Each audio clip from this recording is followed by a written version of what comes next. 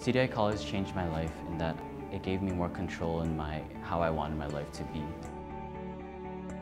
Going to CDI College, it set me on a path of uh, this is what I want in life. Well, the main difference in my life now that I've graduated is that I have hope for the future. Honestly, I always wanted to be in the medical profession because of my parents.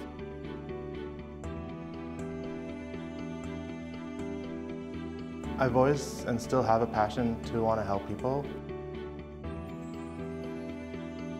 CDI gave me the tools and capability to get where I wanted to be.